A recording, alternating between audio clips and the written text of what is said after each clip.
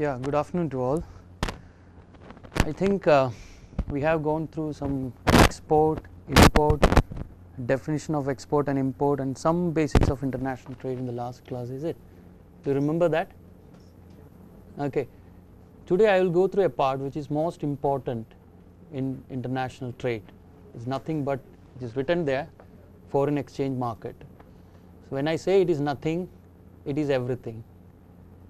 Do you know that this market, can you imagine, just I am asking you, can you imagine the size of this market?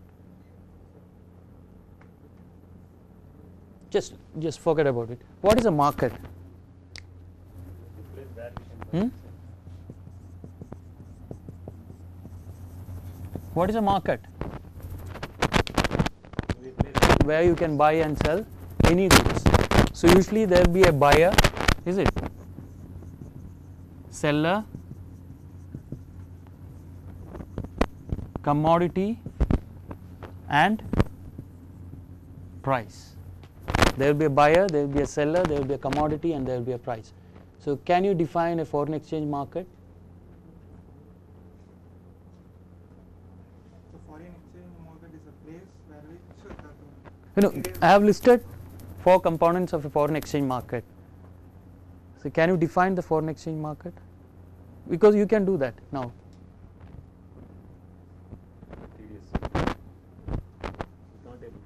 No, there is a buyer in foreign exchange market. What is a commodity? It's foreign exchange currency. So there is a buyer and there is a seller and there is a commodity called foreign exchange, nothing but foreign exchange currencies and there will be a price for each currency. So before going to that, I would like to cover in this 10 minute session what is forex market, what is forex? Foreign exchange. What is forex as such, what you mean by foreign exchange as such, the definition and what is a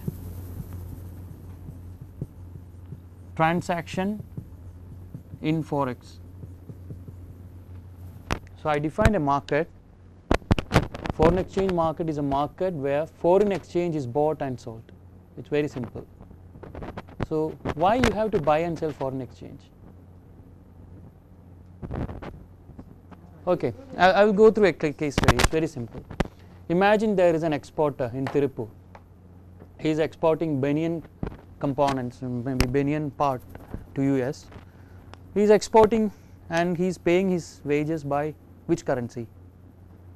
Indian currency. He is exporting it, it goes to US and the American guy he will pay in 3 months in what currency? Because he do have only dollars. So the Indian exporter send the goods to US and he gets in US dollar. We can write in dollar in this way US dollar. So can he pay his employees using US dollars in India? Now what he should do then?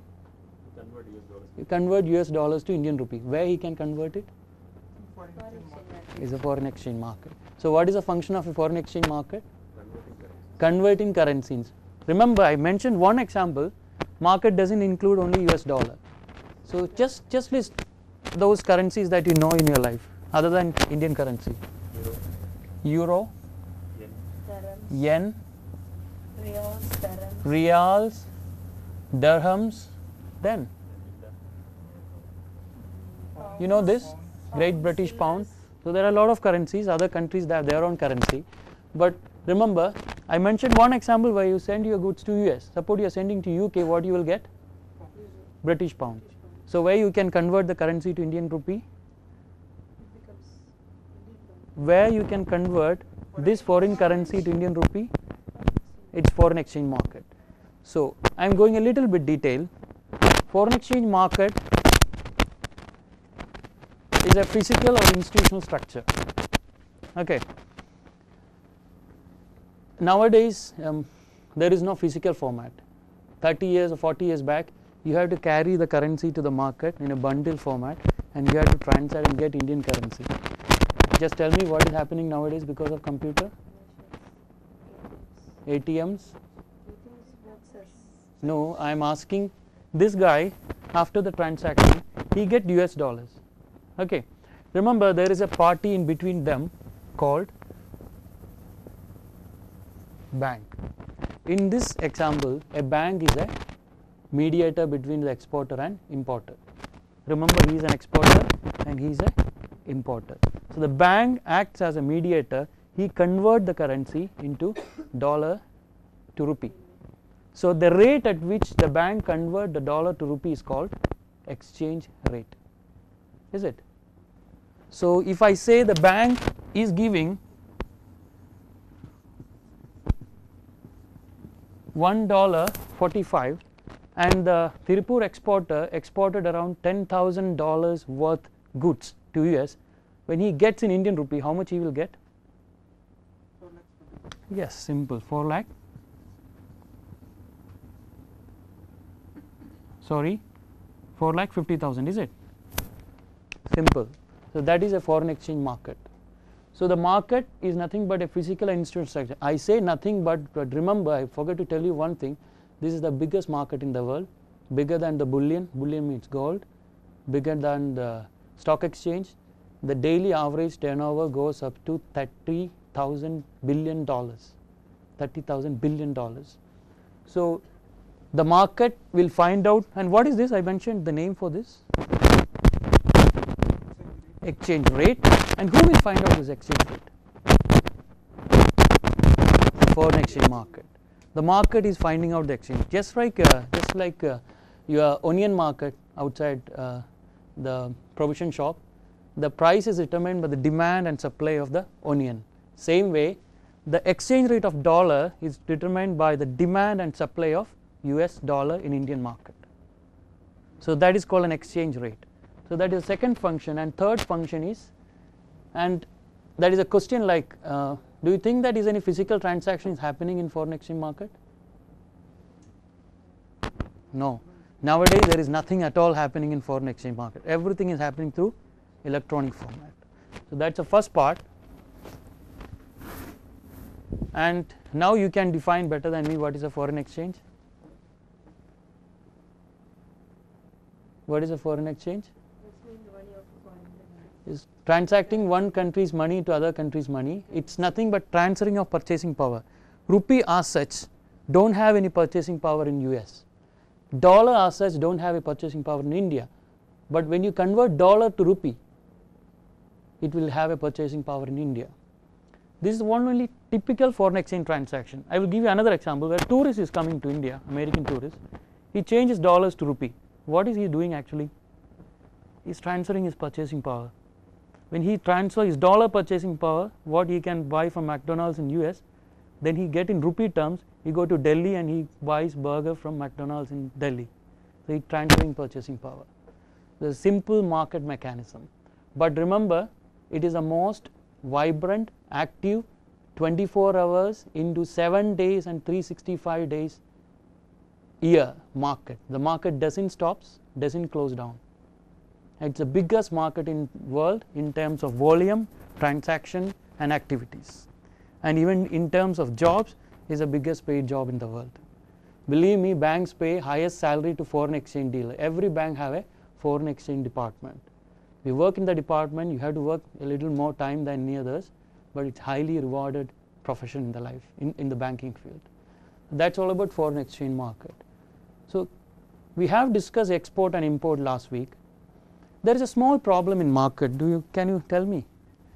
When you go through the newspaper every day morning, the fourth or fifth page, you can see one dollar is 45.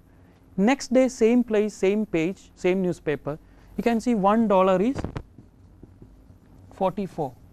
What does indicate? The rate is constant or changing?